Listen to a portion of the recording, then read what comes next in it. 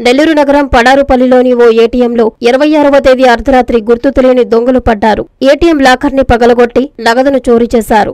విషయం తెలుసుకున్న Vedepalem CI Venkatanarayana clues team ఘటనా స్థలానికి చేరుకున్నారు. ఏటీఎంను పరిశీలించి సుమారు మూడు లక్షల వరకు దొంగలు ఎత్తుకెళ్ళినట్లు పోలీసులు అంచనా వేశారు. కేసు నమోదు చేసి దర్యాప్తు చేపట్టారు.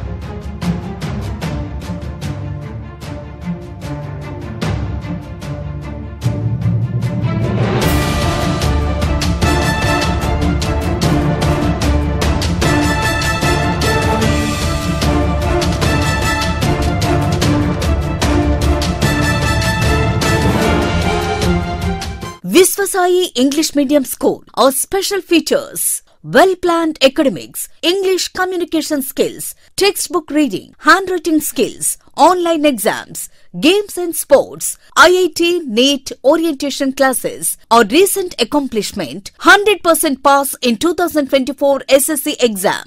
అడ్మిషన్లు జరుగుతున్నవి Vishwasai English Medium School, opposite Children's Park, Nellore. Play class to seventh class.